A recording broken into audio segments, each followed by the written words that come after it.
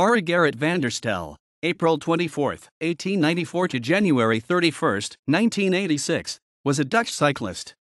He competed in three events at the 1920 Summer Olympics